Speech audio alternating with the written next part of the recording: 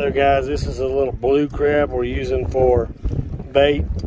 We're down here fishing for redfish in Shell Beach, Louisiana. And these are the little blue crabs we're using on a 5-aught hook. And I'll show you in another video how we set them up to use them like that.